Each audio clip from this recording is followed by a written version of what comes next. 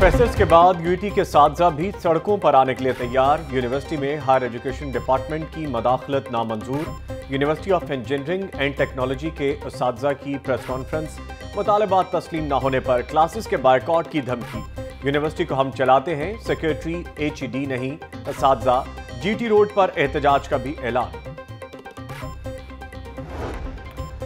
اساتذہ کے دھرنے کا ایک اور روز پھر صبح سے شام ہونے کو حکومت نے لفٹ کروائی نہ ہی اساتذہ کی ہوئی کوئی شنوائی قوم کے میمار چھٹے روز بھی سراپا احتجاج، مطالبات کی منظوری تک ٹس سے مست نہیں ہوں گے اساتذہ کا اعلان۔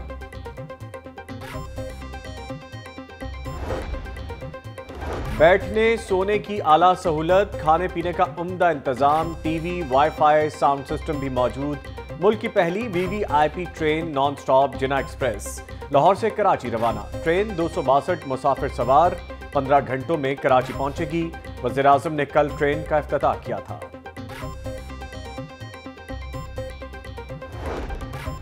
شہر میں پولیس کے نجی ٹارچر سیل کا انکشاف بادامی باغ پولیس نے سولہ سالہ طالب علم کو مبینہ غیر قانونی حراست میں لیا۔ اور پھر مقامی فیکٹری میں بنائے گئے ٹارچر سیل میں قید کیا۔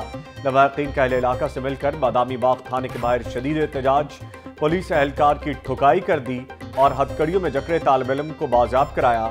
سی سی پی او کا notice, S S P operations کو تحقیقات کر کے رپورٹ پیش کرنے کی ہدایت۔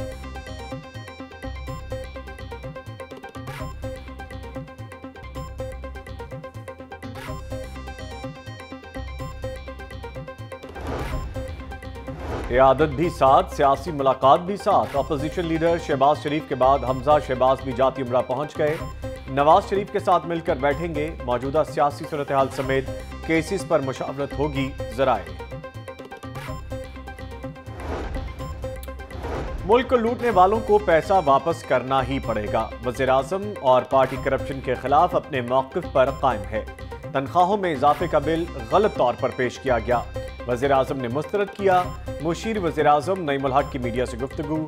کلین اینڈ گرین مہم کے تحت Gajjumatta interchange per chairman P H A Yasir Gilani کے ہمراہ پودا لگایا۔ شجرکاری مہم میں پرائیویٹ سیکٹر کو بھرپور مدد فراہم کرنے کا اعلان۔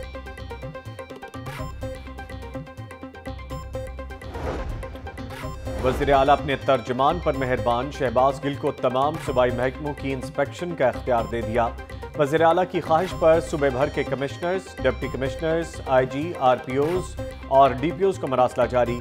سردار عثمان بزار پنجاب کے کپتان جو ذمہ داری لگائیں گے پوری کروں گا شہباز گل کا ٹویٹ۔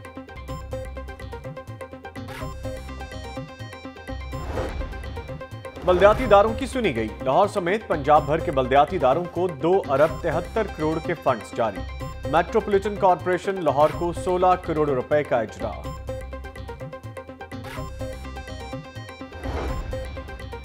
صوبائی مالیاتی کمیشن کے تحت مارچ کے غیر ترقیاتی فنڈز ڈسٹرکٹ ایجوکیشن اتھارٹیز کو بائیس ارب بہتر کروڑ روپے کے فنڈز جاری۔ ڈسٹرکٹ ایجوکیشن اتھارٹی لاہور کو ایک ارب بارہ کروڑ روپے کا حصہ ملا۔ غیر قانونی فنڈز میں تنخواہیں اور دیگر اخراجات شامل۔ گیارہ روپے اگر بڑھ رہے ہیں تو غریب کے اوپر تو اثر آئے گا لیکن تکلیف تو اٹھانی پڑے گی نا بہتری کے لیے۔ مجھے لگ رہا ہے یہ تبدیلی جو ہے نا یہ عوام کے لیے بہت بڑا بوجھ بن گیا اب۔ یہ تبدیلی عوام کو مارنے کے لیے آئی ہے۔ پٹرول کی مہنگائی بہت زیادہ ہو گئی ہے اس سے زیادہ کم ہونی چاہیے۔ پٹرول مہنگا ہونے سے تقریباً ہر مارکیٹ کی چیز مہنگی ہو جاتی ہے۔ مگر ایک دم سے دس بارہ روپے کا فرق جو ہے نا، یہ بم جیسا ہی ہے۔ پیٹرول بم مہنگائی کے مارے عوام تبدیلی سرکار سے تنگ۔ پیٹرولیم مصنوعات کی قیمتیں بارہ روپے بڑھنے کا امکان۔ حکومت صرف مہنگائی ختم کرنے کا کر رہی ہے، اعلان۔ عوام کی شدید تنقید، مہنگائی کنٹرول کرنے کا مطالبہ۔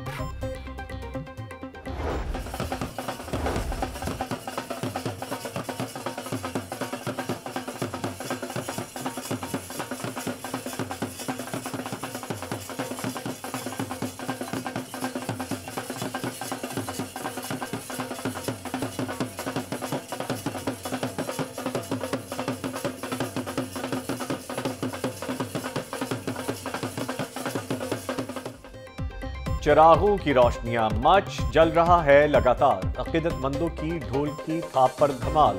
حضرت مادولال حسین رحمت اللہ علیہ کے عرص کے دوسرے روز رونقیں عروج پر۔